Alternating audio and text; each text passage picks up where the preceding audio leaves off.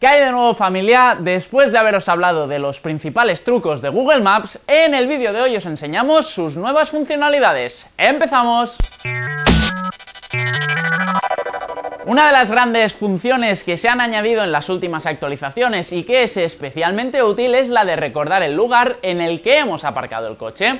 Así pues, ya no tendremos que perder tiempo buscando nuestro coche en el parking del centro comercial, ni tampoco tendremos que estar apretando constantemente la llave para ver cuál es el coche que se enciende, porque con Google Maps podremos marcar manualmente el punto exacto en el que hayamos estacionado.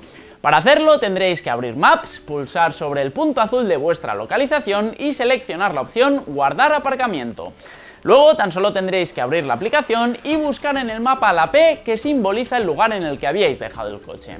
Otra interesante novedad es la de poder compartir vuestra ubicación en tiempo real con otras personas, algo que puede ser muy práctico para encontrarse con los demás sin tener que recurrir al WhatsApp para preguntarles dónde están. Es una mejora que permite ahorrarnos mensajes con indicaciones y que es muy fácil de usar, ya que tan solo tenéis que entrar en el mapa, pulsar sobre el mismo punto azul de vuestra ubicación y hacer un tap encima de la opción Compartir ubicación. Es una innovación que, sin embargo, también incorpora precisamente WhatsApp en una nueva actualización.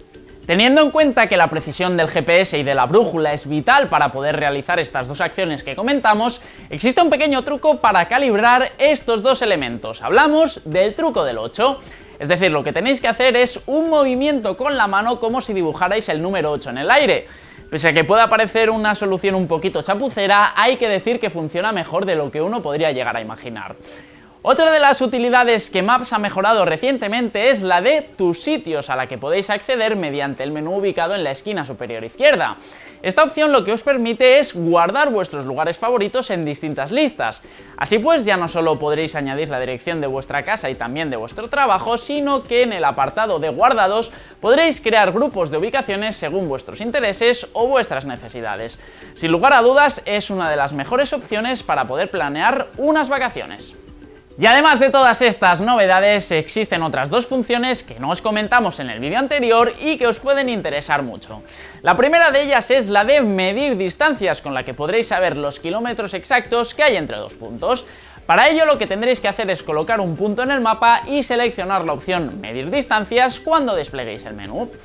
Por otro lado, hay que hablar también de Local Guides, un programa de recompensas con el que es posible aumentar el almacenamiento de Google Drive con tan solo escribir reseñas o bien aportar determinadas mejoras a Google Maps. Dicho esto, esperamos que os haya gustado este vídeo, que le deis al like, que lo compartáis con todos vuestros amigos y sobre todo que os suscribáis a nuestro canal si es que no lo habéis hecho ya. Nos vemos en el próximo vídeo.